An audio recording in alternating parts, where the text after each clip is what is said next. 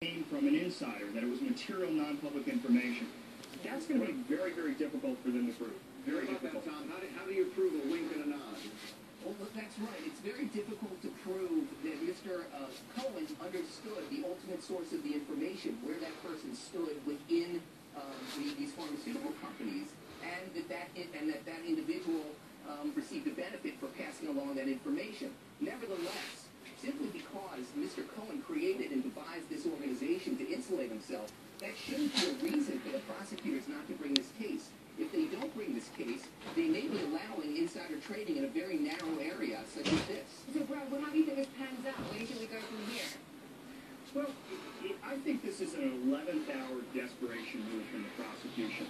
They were hoping for a witness. They were hoping for someone to testify against Steven Cohen.